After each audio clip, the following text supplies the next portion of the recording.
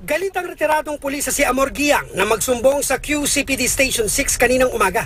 Inireklamo niya ang byuda ng isang namayapang pulis na nangutang daw sa kanyang lending company ng halagang mahigit 120,000 pesos. Ang ginamit daw na collateral ng suspect na si Violeta Lastrolio ang makukuha pera mula raw sa accumulated leave credits ng namatay niyang asawa.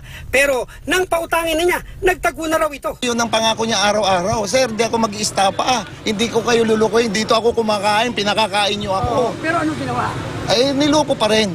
Kaya nang muli raw sumubok mangutang ng 3,000 piso si Lastrolio, humingi na siya ng tulong sa pulisya na nagkasa ng entrapment operations. Dahil kumagat sa pain, arestado ang sospek. Kaparehong modus daw ang ginamit ng sospek para makapangutang naman sa lending company ni Gigi de la Cruz. 50,000 pesos naman ang natangay sa kanila ni Lastrolio. Madrama yung matanda eh. So, nirelease nga last December. Eh, nagsanla sa amin January. So, ibig sabihin, panluloko talaga. Kasi alam niya nang wala, di ba? Ba't nang, nangungutang pa siya? Sa investigasyon, lumabas na hindi bababa sa 10 complainant ang naghahabol kay Lastrolio. Napakalakas ang loob niya para lokohin pa niya yung mga dating retiradong polis.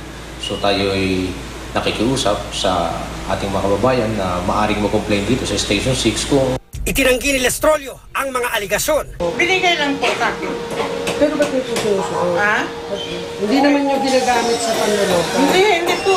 Hindi ako nagano. Hindi mo po Bigay sa akin niya. Sasampahan si Lastrolio ng kasong estafa. Cesar Apolinario, Nakatuto, 24 Oras.